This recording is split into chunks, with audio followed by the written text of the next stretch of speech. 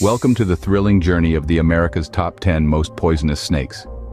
This is a perilous territory teeming with slithering serpents that pack a deadly punch.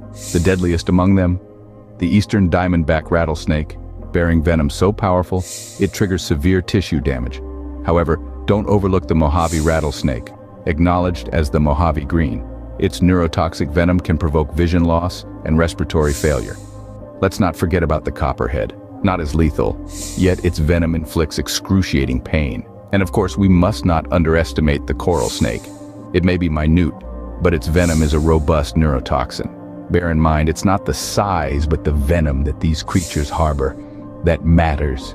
Respect their territory, and they'll respect yours. Keep your boots on, eyes wide open, and maintain safety while venturing into the wild, wild Americas.